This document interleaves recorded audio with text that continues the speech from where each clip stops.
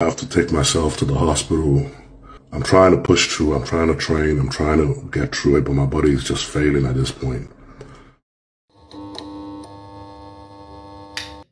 What's up, desktopers? Xavier Wills here for Desktop Bodybuilding, and we are back with another bodybuilding news video. And let's kick this one off with updates here from Goodvito, four and a half weeks out of the Arnold Classic South America, where he's going to be up against the likes of Rafael Brandao, which is going to make it very tough because Rafael, two years ago, was top 10 in Mr. Olympia. He's added seven, eight pounds from that, just placed third in the Arnold Classic in Columbus. So it's going to be a tough contest there for Goodvito, no doubt.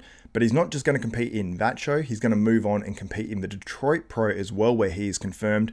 But he's going to have some really stiff competition there as well. So it's going to make it hard for him to qualify for the 2024 Mr. Olympia unless he does other shows after that or he just sort of shocks us all. But trusting Goodvito's physique update pictures is sort of like trusting a partner that cheats on you.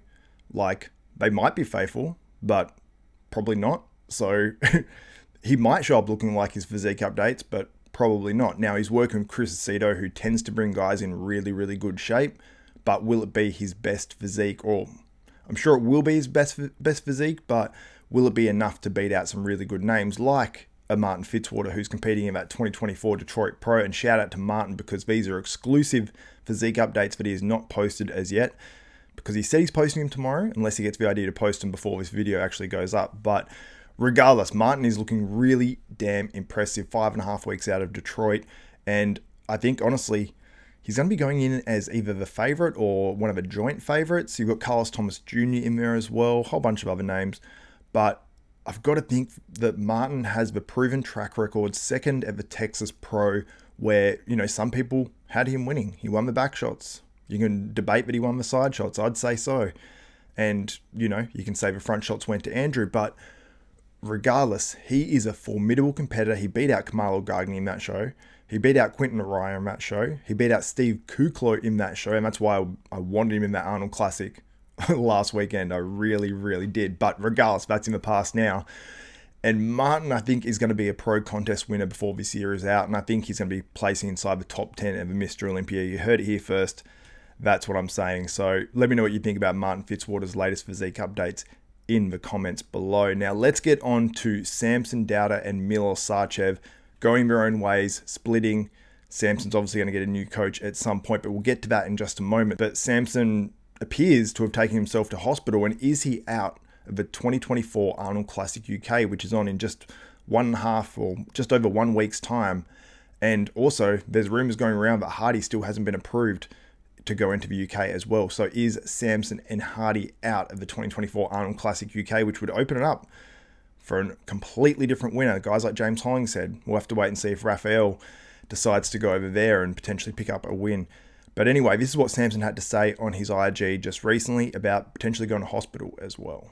I have to take myself to the hospital to get checked out because I don't know, my body is just I'm trying to push through. I'm trying to train. I'm trying to get through it, but my body is just failing at this point.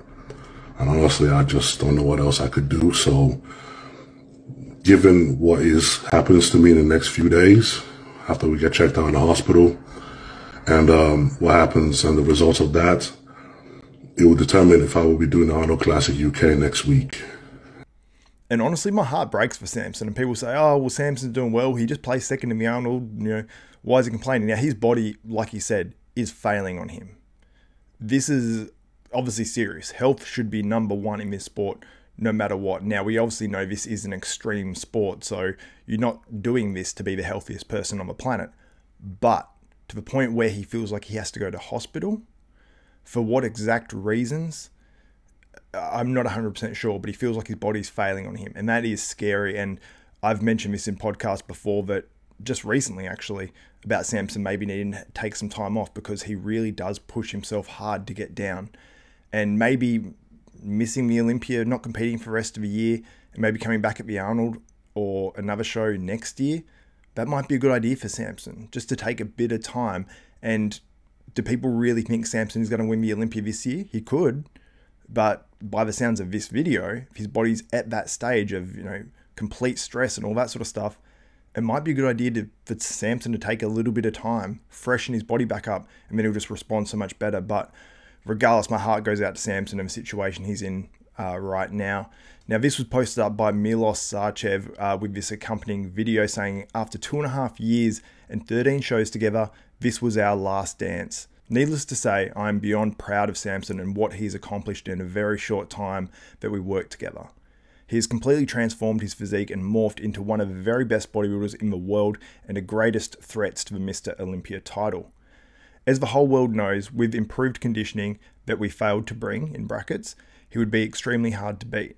Wishing Samson and Marlena all the best in the world, and most importantly for Samson, fulfillment of his destiny. But he put hashtag the next, as in the next Mr. Olympia.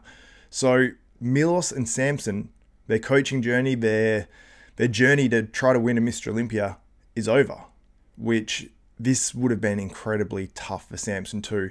Now, maybe part of Samson not feeling good right now is the fact that he's got that stress of of talking to Milos and having that conversation and and and you know leaving Milos as a coach and he knows this would be incredibly tough for Milos.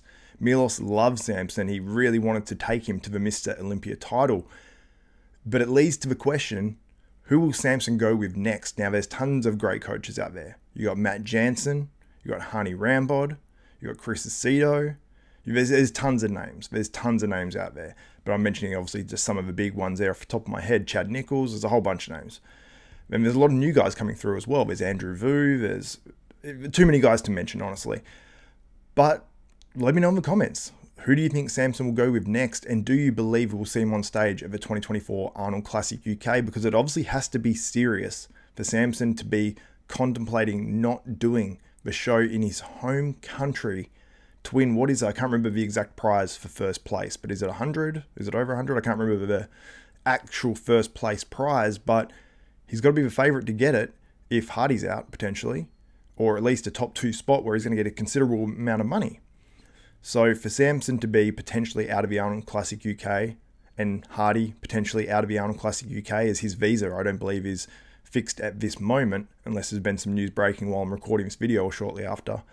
So really, that opens the door for someone else to come in and, and win that title as well. But I want to mention as well, Fouad Abiad on that post of Milos Sarcev spoke and said Samson has no health issues, Samson is not in the hospital, and Samson is not retiring. That should clear up some of the oh, I've got something over it. Some of the rumors before they start. Milos, you've done a good job with Samson. Congrats on your partnership. So he says he's not in hospital. So Samson did say he was going to hospital. I don't know exactly what's going on, but regardless, I wish Samson all the best, and I really, really hope he gets his health in order. That's the main thing, and we get to see Samson back at his best at some stage, but I don't think Samson needs to be stressing about that right now. But anyway, guys, let me know your thoughts on all of this in the comments below. Who do you think will win between Goodvito and Martin Fitzwater when they go head to head at the Detroit Pro? Or do you think Carlos Thomas will come out on top or another bodybuilder that might be competing there, like Antoine Vaillant, who's a possibility for that one as well? Anyway, guys, that's it for this one. If you did enjoy this video, give the video a thumbs up, smash that like button, also subscribe and click the notification bell button. That way you'll be notified of every video that goes up from myself, Xavier Wills at Desktop Bodybuilding. And check out our new channel. I don't know which way I need to point. Um, it's Desktop Bodybuilding podcast and interviews. We'll have all the long form stuff on there, and Bodybuilding University is coming back soon. I've got a full interview with Nathan De Asha on there now where he puts out some pretty interesting information on competition prize money. Uh, we talk about the Arnold Classic. He has some bold uh, views on that. So make sure you check it out. I'll put the link to that in the description below. And that's it for me. My name's Xavier Wills. This is Desktop Bodybuilding, and we are out.